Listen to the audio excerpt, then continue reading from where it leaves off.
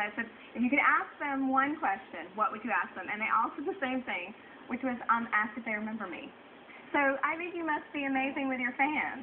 Oh, that's very cool. We try to spend as much time as we can with them. We do have a very busy schedule, but we make sure to take as much time as we can, saying hello, signing, whatever we can. They've done so much for us. Amazing.